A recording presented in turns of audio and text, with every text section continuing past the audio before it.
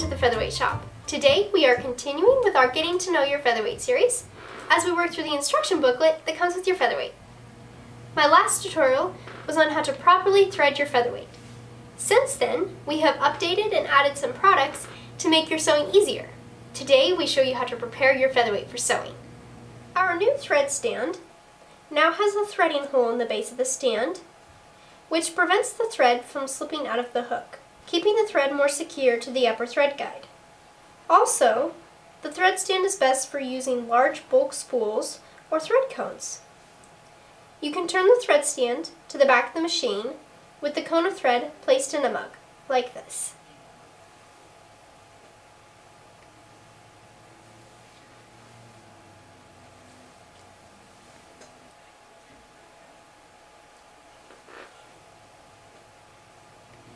For smaller crosswound spools, like Aurifil, we now recommend and use our new thread post.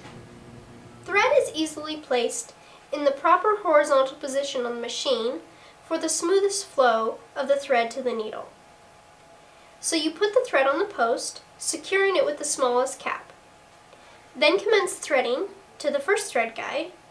On some featherweights, this upper thread guide sticks out a little bit, so if needed, you can put on this little tab to keep the thread from slipping out when sewing fast or winding a bobbin. Continue threading the machine as usual, just like I showed in part 4 of this series. So now with the machine threaded, we're ready to prepare for sewing.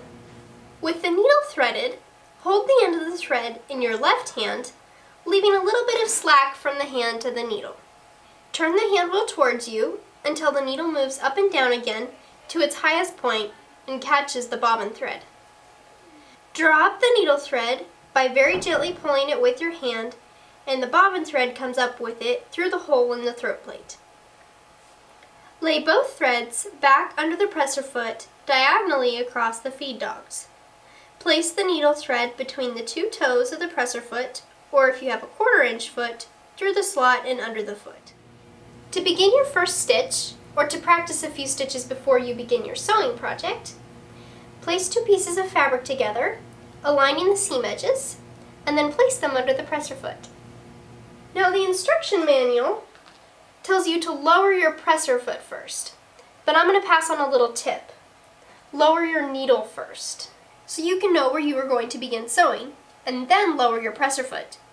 Doing it in this order helps lock the thread tails in position, but also keeps the thread from slipping out of the needle when you begin to sew. To start sewing, hold your thread tails and enjoy practicing some first stitches on your featherweight.